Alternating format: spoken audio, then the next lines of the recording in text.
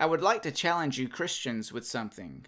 According to Christianity, the reason for suffering and death on earth is because of man practicing their free will to sin, as in the story of Adam and Eve. So, I would like to propose the following Free will to sin exists on earth. Practicing free will to sin is the reason for all the suffering on earth. Therefore, a place without free will to choose to sin would be without suffering.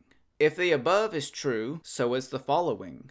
Free will to sin exists in heaven. Free will to sin is the reason for all the suffering on earth. Therefore, heaven suffers the same consequences as earth. If the response is, there's no sin in heaven, then how can there be free will in heaven?